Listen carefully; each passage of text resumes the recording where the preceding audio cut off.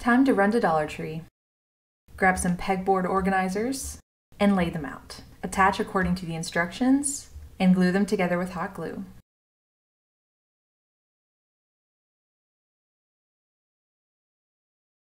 Now take a Lazy Susan and hot glue it onto that.